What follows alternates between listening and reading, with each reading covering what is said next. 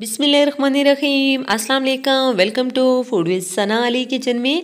आज मैं आपके साथ पेस्ट्री की रेसिपी शेयर करूँगी। बहुत इजी तरीके से हम बनाएँगे और मज़े की बात ये कि हम इसे इलेक्ट्रिक बीटर के बिना बनाएँगे। हम इसमें किसी जूसर मशीन का इस्तेमाल भी नहीं करेंगे। हैंड विस्क से बनाएँगे और किचन में मौजूद चंद चीज़ों से हम ये पेस्ट्री घर पे किस तरह से तैयार कर सकते हैं, सभी टिप्स और ट्रिक्स मैं आपके साथ शेयर करूँगी। आपको बाहर से लाने की कोई ज़रूरत नहीं पड़ेगी। और बेकरी से कई गुना बेहतरीन ये पेस्ट्री घर पे बन के तैयार होगी। बहुत ही कम खर्च में। चलें जी, बनाना शुरू करते हैं। बिना टाइम वेस्ट किए। सबसे पहले हमने एक बाउल में तीन एग ले लिए हैं। ये एग युगट है। हमने एग वाइट नहीं लेना। तीन अंडों का। और इसमें हमने एक कप शुगर पाउडर शामिल कर दिया है। और एक कप ही हम इसमें नीम गर्म दूध शामिल कर देंगे। हमारे पास कच्चा दूध है। अगर आपके पास बॉयल दूध है तो वो भी शामिल कर सकते हैं। हैंड विस्क की मदद से इसको अच्छे से मिक्स कर लेना है। इतना मिक्स करना है कि इसके ऊपर झाग आ जाए, इसका कलर चेंज हो जाए। आप देख सकते हैं, इसका कलर चेंज हो चुका है। मैंने इसे 10 मिनट तक अच्छे से बीट कर लिया है। अब हम इसमें quarter teaspoon vanilla essence शामिल कर दिया है ताकि अंडे की स्मेल ख़त्म हो जाए और जो है पेस्ट्री से एक अच्छी सी खुशबू आने लगे। और क्वार्टर कप ही हमने इसमें आयल शामिल कर दिया है। अगर आप घी या बटर शामिल करना चाहें तो कर सकते हैं, कोई मसला नहीं है। इसको अच्छे से मिक्स कर लेना है, सभी बैटर यकचान हो चुका है। अब हम इसमें ड्राई इंग्रेडिएंट्स शामिल करेंगे। डेढ़ कप हमने मैदा शामिल करना है। थोड़ा थोड़ा करके शामिल करते जाएँगे और इसको अच्छी तरह से छान देना है। आधा कप हमने इसमें कोको पाउडर शामिल कर दिया है। और इसको भी हम छान के इसमें शामिल करेंगे। हाफ़ टेबल स्पून हमने इसमें बेकिंग पाउडर शामिल कर दिया है। और हैंड विस्क की मदद से हम इसको गोल घुमाते हुए फोल्ड कर लेंगे, अच्छे से मिक्स कर लेना है। ओवर मिक्सिंग नहीं करनी। ताकि इसके अंदर कोई गुठली या लम्स ना रहे। आप देख सकते हैं बैटर जो है कितना शाइनिंग वाला और बिल्कुल जो है रिबन की तरह तरह गिर रहा है। जिस मोड में हमने इसको बेक करना है, उसे हमने तैयार कर लिया है। पहले हमने इसको आयल से ग्रीस कर लिया है और इसके अंदर बटर पेपर लाइन कर लिया है।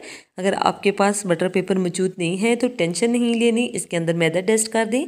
पतीला हमने 10 मिनट तक प्री हीट कर लिया है, इसके अंदर एक स्टैंड रख दिया है, जिसके ऊपर हमने अपना जो है बैटर रख दिया है मोल्ट में शामिल करके। और लो फ्लेम पे हमने इसे जो है बेक करना है, चालीस मिनट तक। चालीस मिनट गुजर चुके हैं, केक अच्छे से बेक हो चुका है। हमने इसके अंदर एक स्टिक डाल के चेक कर लिया था और इसे बिल्कुल रूम टेम्परेचर पे ठंडा करके हमने इसे डिमोल्ड कर लिया है। बहुत इजीली जो है ये डिमोल्ड हो चुका है। अब जो है बटर पेपर हम निकाल देंगे। माशाल्लाह, आप देख सकते हैं कितना अच्छे से स्पॉन्ज तैयार हुआ है। बिल्कुल जालीदार और बिल्कुल परफेक्ट कुक हुआ है दोनों साइड से। अब छुरी की मदद से हमने इसके दो लेयर में कट कर लेना है। आप देख सकते हैं कितना जालीदार जो है हमारा चॉकलेट स्पॉन्ज तैयार हुआ है। अब इसके ऊपर हमने विपिंग क्रीम की एक लेयर लगा देनी है। अच्छे से और छुरी की मदद से सेट कर लेंगे। ये विपिंग क्रीम मैंने खुद घर पे तैयार की है। बिना बटर के, बिना जो है बेकिंग पाउडर के और बिना जो है मिल्क पाउडर के। दूसरी लेयर भी हमने ऊपर रख दी है। और इसको हम अच्छे से सोप कर लेंगे। हमने आधा कप दूध में दो चम्मच कंडेंस्ड मिल्क शामिल करके ये जो सीरम है वो तैयार कर लिया था और ब्रश की मदद से हमने इसको अच्छे से सोप कर लिया है ताकि जो है पेस्ट्री बहुत ही सॉफ्ट तैयार हो। पहली लेयर को भी हमने इसी तरह से जो है सोप कर लिया था। अब इसके ऊपर एक मोटी सी लेयर विपिंग क्रीम की लगा देंगे। विपिंग क्रीम को हमने सेट कर लेना है, एक अच्छी सी लेयर लगा लेनी है। आउटसाइड से चारों किनारों से हम इसकी कटिंग कर लेंगे, ताकि पेस्ट्री में जो है सफ़ाई आ जाए, जिस तरह से हम बेकरी से जो है पेस्ट्री ख़रीद के लाते हैं। अब हमारे पास चॉकलेट है, जिसको हमने मेल्ट कर लिया था, और इससे जो है हम इसके ऊपर डिज़ाइन बना लेंगे। इस तरह से आपको जो भी पसंद हो, आप इस तरह से इसको डेकोरेट कर सकते हैं। अब हम इसकी कटिंग कर लेंगे। कटिंग आपने अपनी पसंद के मुताबिक करनी है। जिस तरह की कटिंग आपको पसंद हो, इस तरह की कटिंग आप कर सकते हैं।